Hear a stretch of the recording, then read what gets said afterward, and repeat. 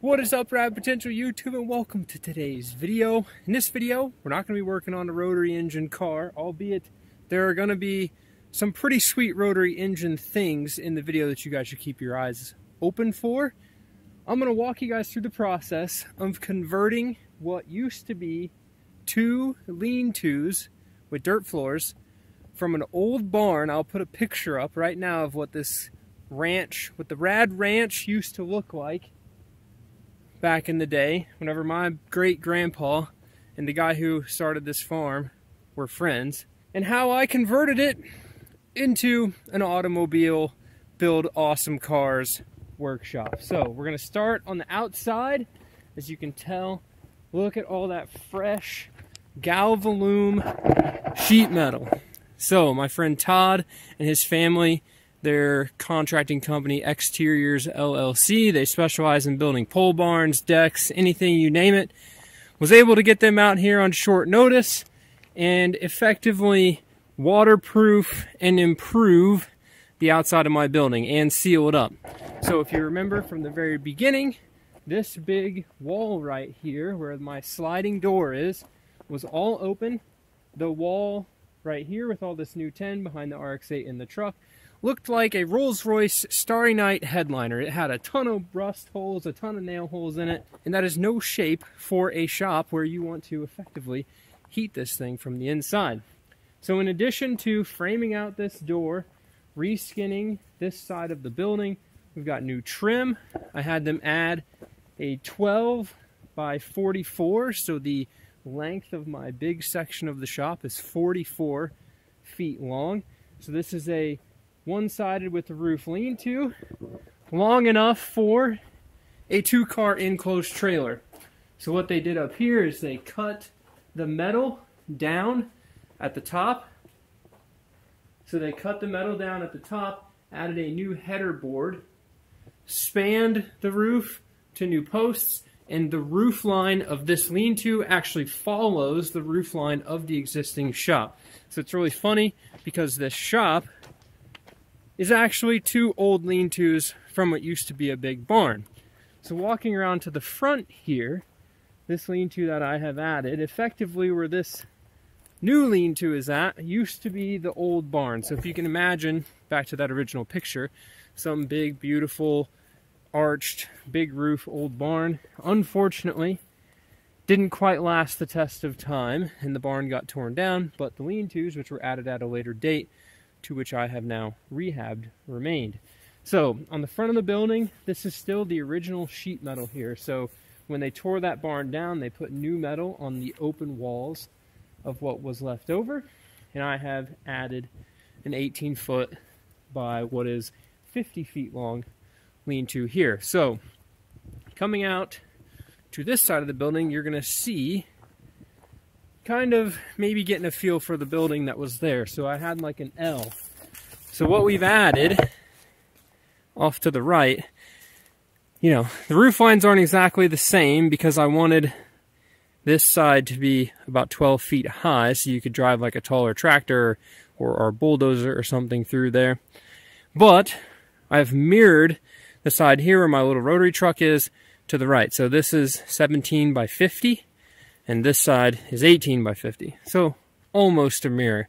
I could definitely foresee in the future kind of like the next expansion once I need more space would be to concrete and enclose this side and put a door on this end or you know we could pull one of the posts put a brace up put a door in from the north side so that is basically the extent of the exterior modifications in addition to modifying the building I had to modify the grade around the building. So my day job, what I used to do before I effectively became an on-call employee for civil engineering, was exactly what I had to do here. So grading. One of the most important parts before you redevelop, develop, build a house is you need to understand where the water goes on your site.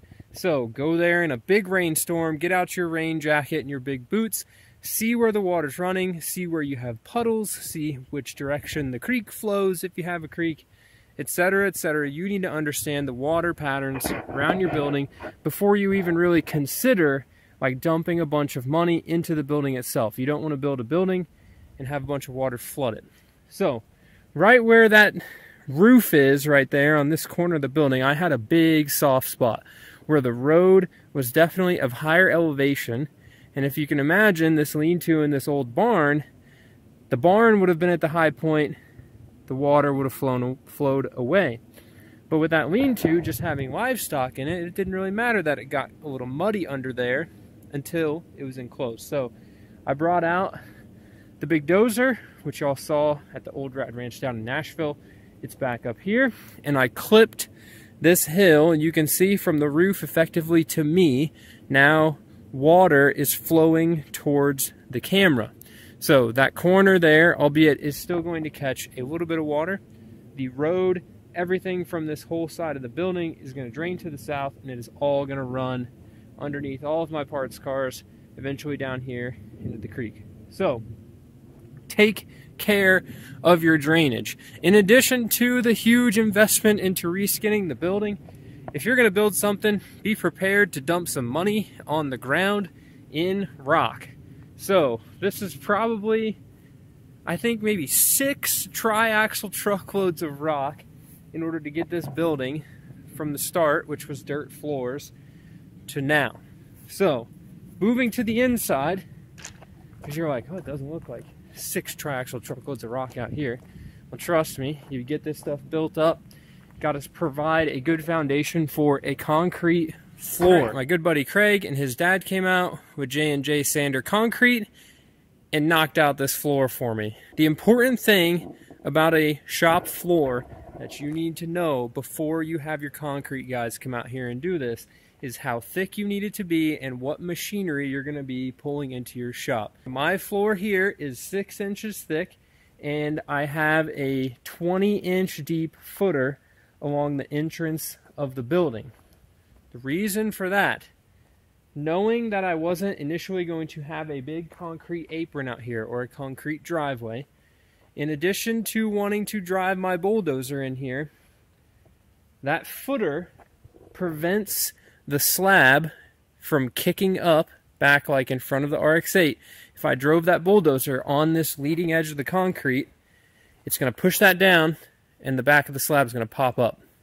Even with six inch thick concrete, that's most likely to happen. There is rebar and reinforcement and everything in this floor as well. So that footer prevents that. The six inches is so that the weight of that, which is 20,000 pounds, doesn't excessively crack the concrete anywhere else. In addition, I knew that I wanted to have a two-post lift that would lift my dually pickup truck. So this truck is 9,000 pounds.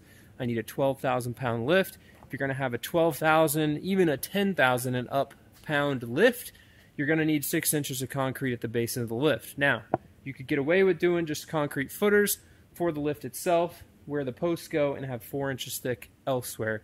But the main area of my shop has six inches of concrete. So we can pull the dozer in here, whip some donuts, drive it out. It's not going to hurt the floor. Moving to the engine room, the hangout room, whatever you want to call it, over here, this is actually a section of the separate longer lean-to, the, the long edge of the L, let's say. So big, tall, short edge of the L, long edge of the L. So I made a square in here. This is 17 by 17. Concrete is four inches thick. I didn't anticipate driving a car on this at all. So when they poured it at this break in the concrete right here, it's four inches. I think that ought to hold up plenty of engines. If we ever have like a big block Chevy or a Hemi or something, it'll be fine on an engine stand in here. It's not going to hurt it. So, moving back this way, while we're just talking floor coverage, and then we'll work back into the inside of the building and talk about insulation. This side I opted to leave rock. Now, the main reason for that, and this is what you're going to have to decide when you're building your building or rehabbing a building from the inside out like I did, is that you need to assess the existing structure of your building and make sure that it's worth it to pour concrete on the inside of it. So, the, one of the reasons I didn't want to concrete this whole side is because this lean-to was definitely older than the other one. The posts a little bit less structurally sound, a little bit more rotten at the bottom than the other one. So I only wanted to kind of minimize my risk of investment by pouring a small slab over there. That gives me like an area outside of the cars where they park to be able to build engines and stuff. But the rest of the building, worth it. This side, not so much. So let's talk about working on insulating, fixing up your building from the inside out. Now that we can see what my building looked like before I fixed it up. So the whole place was effectively dirt floor, grade boards, the metal comes down almost to the dirt, but not quite. As you can see, some residual bird markings in here. Still see some holes up there that are caulked shut, which is fine, at least on this side of the building. Not a huge worry for some leaks. You can see the lights. But what you can most importantly see is that there is no vapor barrier, there is no wrap, there's no nothing on this building, or at least as it was. It's literally steel metal on the purlins, on the posts, right here. Metal, purlins, posts.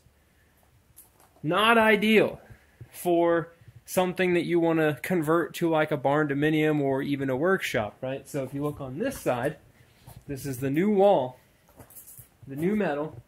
This is a building wrap. So it's like a tarp, effectively. But what that does is that contains the moisture that's going to accumulate between the metal and your building. So if you can imagine the back side of this steel, you can see the little ribs right here.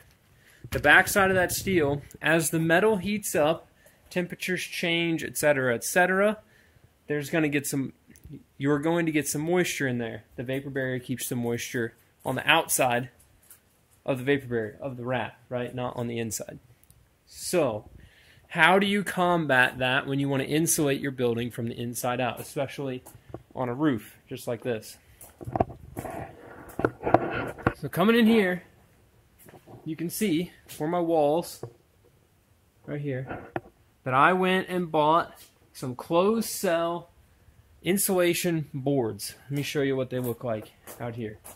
So this is kind of my, whoop, this is my leftover Closed cell insulation. So you can see here, it's just like spray foam, but it's sprayed between like aluminum foil. Some of them have this like refrigerator stuff backing on them. Some of them are, this is what's called Oxboard. You can actually buy this at the store. You can see the R values there is three for a half inch, six for one inch. A lot of the stuff I put in my building was like inch and a half. So I was able to find a bunch of this board used so it's kind of a little bit messy. But I found a bunch of it used up in Illinois, drove up there, bought a bunch of it, saved a ton of money. My walls, that ox board, insulation board, is mounted straight to the purlins. So any moisture that's going to accumulate between my insulation and the metal is going to stay on the outside of the insulation. So closed cell foam like that is waterproof, so it's your vapor barrier. If you tape the seams all shut, then you wouldn't get water into your building. It would function just like a building wrap. So, because I couldn't take all the metal off and wrap it and then put it back together, I didn't want to, that was how I did the walls of the building all the way up to the roof. So if you look up at the roof here, it's a little bit more complex than the walls because of the moisture issue. So what you're looking at is a clear 4 mil plastic much like what you would put down when you're painting a house when you don't want to get paint on the floor.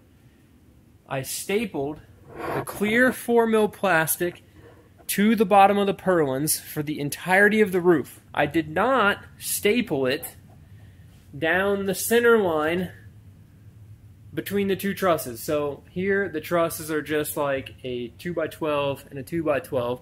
So I would have stapled it along this edge and this edge. And what that is going to do is any moisture that accumulates between the metal and that plastic is going to get caught up in the plastic.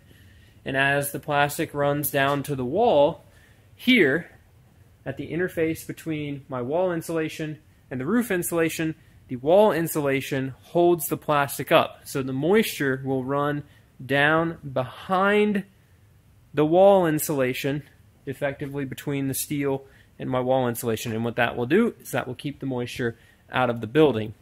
So, in order to insulate the ceiling under that vapor barrier, I got some of that pink fiberglass insulation. My uncle, when they remodeled the showroom at our farm machinery dealership here in Huntingburg, Indiana, they had all of that fiberglass stuff laying in their ceiling. So if you build a ceiling in your building, like at the bottom of these trusses, you put a flat ceiling in, you just lay that fiberglass on top, you leave the metal exposed.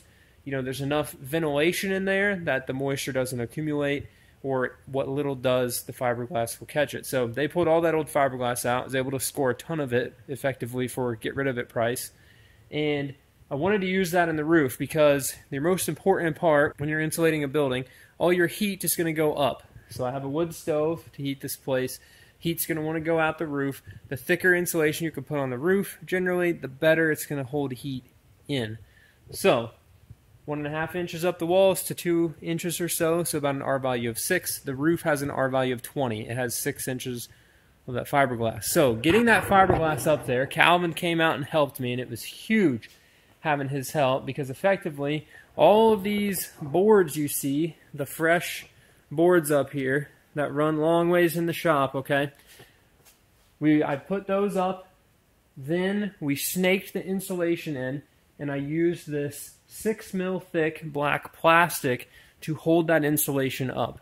Now, there is still a little bit of a gap between the pink insulation and the vapor barrier, which is fine. And that six mil plastic is stapled all the way down the trusses. What I didn't want to do was put a ceiling in here. I really like the way these trusses look. I like the open ceiling feel, and I didn't want to take away from the character of this, you know, lean-to, what's left of it.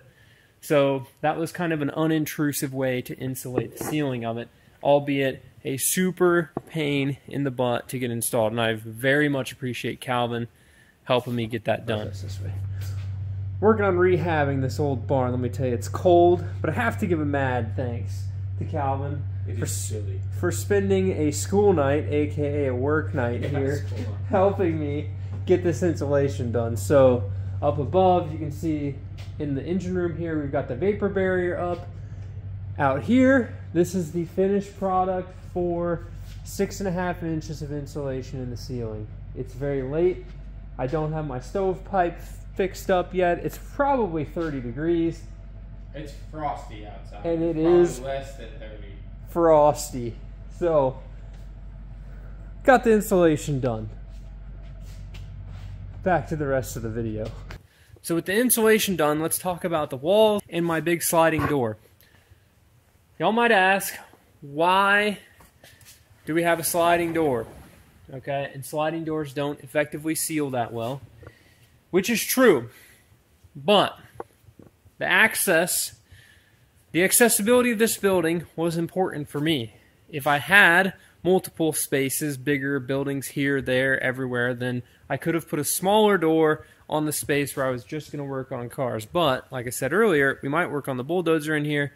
We might need to pull the 1466 in here with the cab and pop the duals off. So, the bottom of these rafters to the concrete floor is 12 foot 3 inches. This door is 12 feet tall by 12 feet wide. With the rafters being as short as they were, I could not get a 12 foot tall overhead door, so one of the doors is going to go like this, without having to modify the trusses or do a shorter door. So I knew I wanted 12 foot tall. Now you can back a trailer, a camper, anything like that into your building. What Todd, contractor, did for me is we actually have this is a rubber seal for an overhead door mounted on the inside of the sliding door. When the door slides closed, and then you cinch it back with these brackets here, get you some light. So when the door slides closed, you flip this bracket out, it latches in like that, you pull it, and you can see the door moves in, right? So when the door gets sucked in, that rubber piece effectively seals to the fleeting edge of the concrete. Now, I'm going to go through here and put some like foam tape on these rails so that whenever it seals in and seals tightly against this piece of treated wood right here, the foam's going to make up the gap. I would say that's just as sealed maybe not quite as good as like a really high quality overhead door, but very good for a sliding door. Now, these sliding doors, mine is the thickness of a 2x6, right? So I've got some inch and a half thick insulation, and I'm going to lay that in to all the channels on the inside of this door. So y'all can see right here, vapor barrier, purlins that the metal is mounted to. I can insulate the gap in between there. And I would say, you know, at our other farm, the doors are made out of 2x4s, framed, you know, very thick, three and a half inches thick. So you could put mega insulation in that door, but those doors are also super heavy and they protrude from the building really far, you know, because they're four inches thick effectively, right? So this door, lower profile, works well, pretty light. You know, I would say like an eight year old might struggle to move it, but you can pretty much move the door pretty freely. It hangs really nicely, the wheels and stuff up in the track. From the door, let's look at the walls. Y'all might recognize this, you might not, but this is my mural from the basement of my house.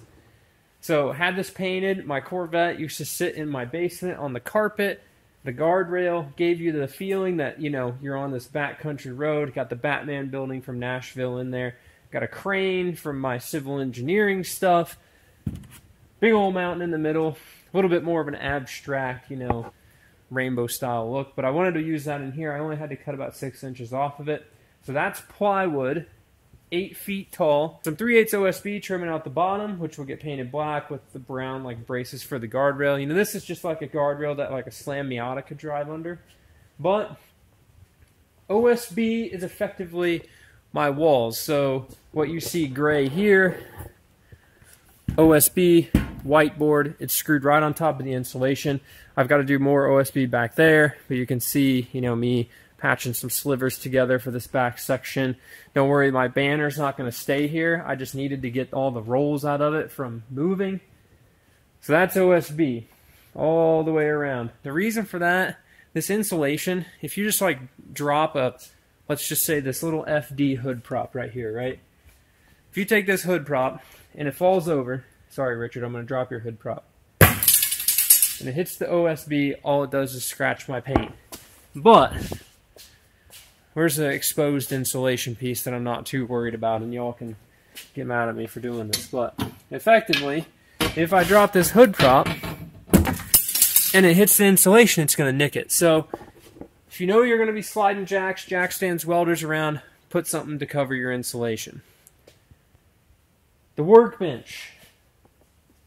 2x4s, treated lumber under the cabinet bottoms so that I can hose my shop out without ruining these semi cheap leftover cabinet bottoms. So these cabinets and cabinet bottoms came from a doctor's office whenever it got remodeled. They were going to get rid of all this stuff, snagged it all. We're going to use it here, same with the cabinets and stuff in there. So just plastered up. I know it's not white or metal or super necessarily garage friendly, but cheap to free, must use. So, oh, that one's empty. I'm going to show you some cool stuff. So I got my wiring in here, cabinets, nothing fancy, right? Not even soft close cabinets, you know? But I'm a tall guy, so I elevated my workbench up five and a half inches. Same with the one in there. So that way I'm looking at a carburetor, I don't have to be down here doing what I got to do to work on it, or working on my little four-cylinder block, or even messing with my injector cleaner. So, behind this I had planned on doing OSB, but we had a little bit of leftover metal, so this is the same tin that's on the outside of my building right here, and I'm going to cut some slivers, do that metal tin in here, and do the metal tin down here. So that way, whenever I'm trying to drop a hood prop and damage my insulation, it doesn't hurt it. In addition, I may, I think that corner will probably get OSB'd.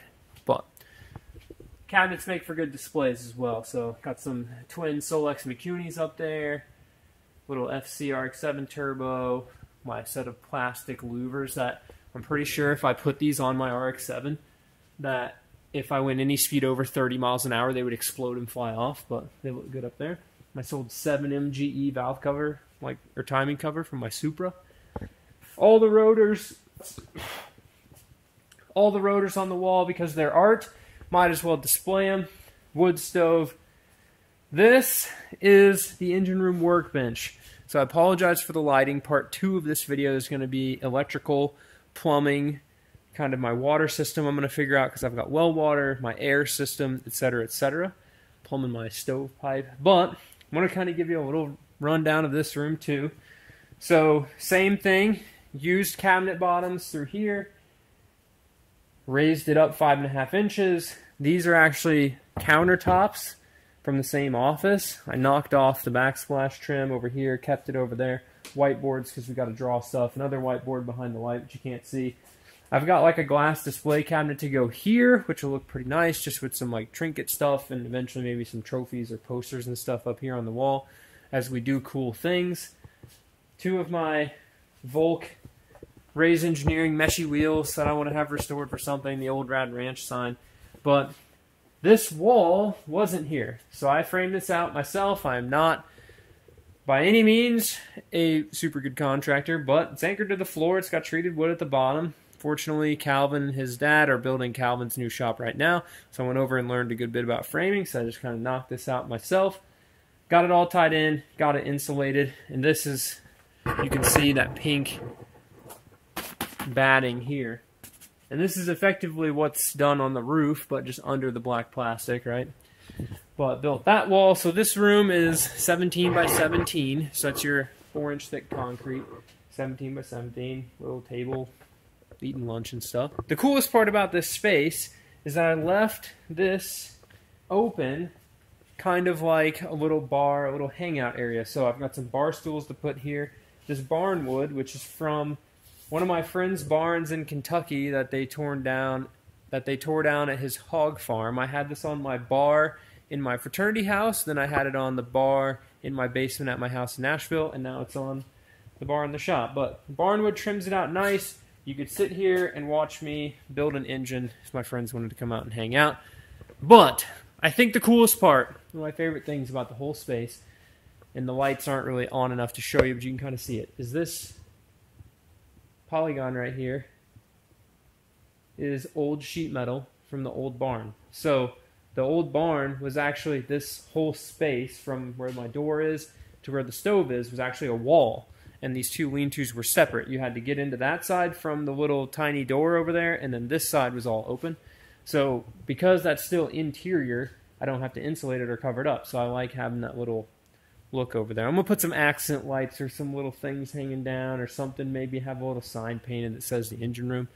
But I think it turned out to be a super neat space, and I really wanted to film this video specifically so that I could go over the more technical aspects of building this barn from the inside out and how I kind of managed, you know, adapting it to something that would otherwise have been like super easy to just build a new one and have white, beautiful walls and insulation everywhere and vapor barrier and the whole deal um, versus kind of like what I did, which is what I thought was the fastest way for me to get a space to work on these cars before the winter hit, which eight weeks, eight weeks ago, this was a dirt floor.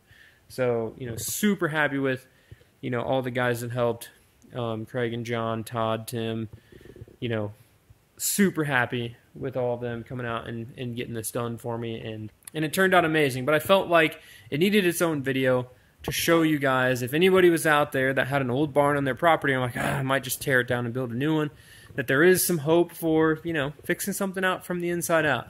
Um, we'll see how this holds up you know to the test of time. I, I guarantee you it's not going to last you know hundreds and whatevers of years but you know an average pole barn people say the life people say the lifespan of a pole barn is probably 40 to 50 years before the poles start getting rotten and stuff starts going. So, you know, this structure, everything seemed really solid. So hopefully we can get that same amount of life out of it. In addition, if we ever got to put a new roof on it, the insulation's not spray foam, so the roof can come off. We can put a new one on. As far as the side metal, everything's in good shape.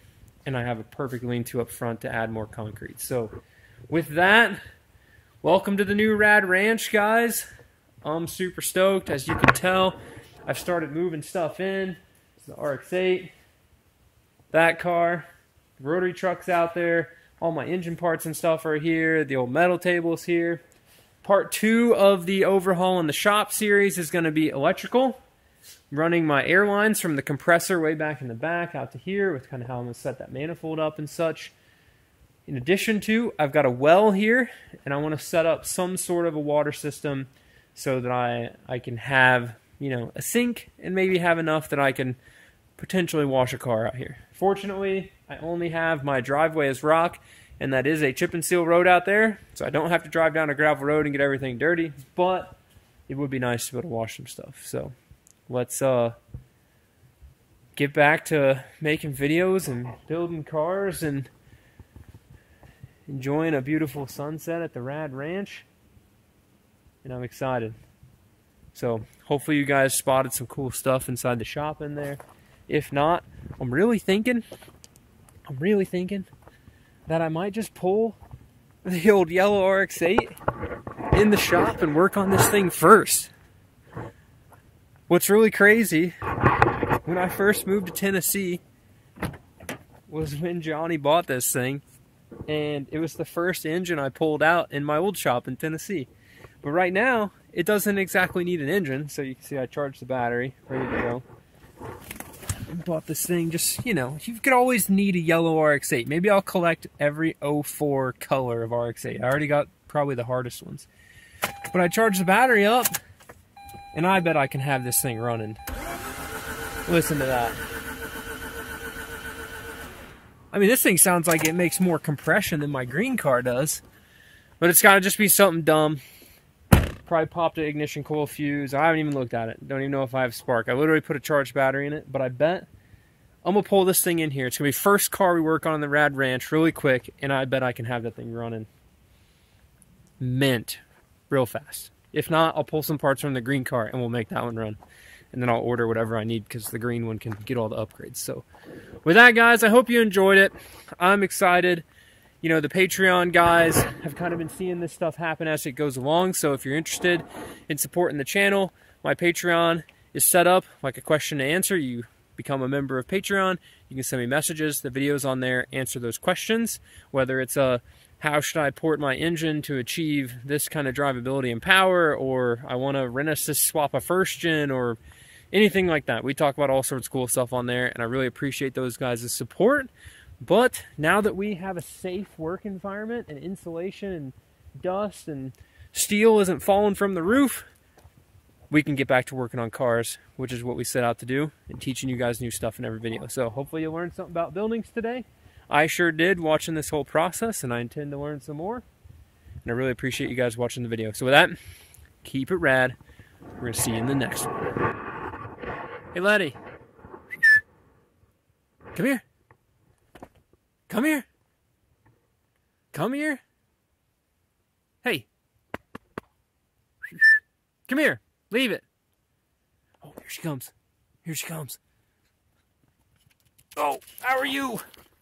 How are you, huh? Hey. Is that a beautiful sunset? Is that a beautiful sunset? Yeah. Are you digging up moles in the cornfield? Yeah. Oh, you're so excited. Get the zoomies at the end of the video. What? Look at her throwing roost. What?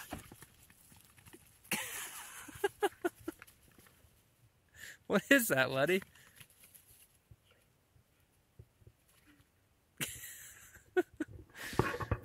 All right.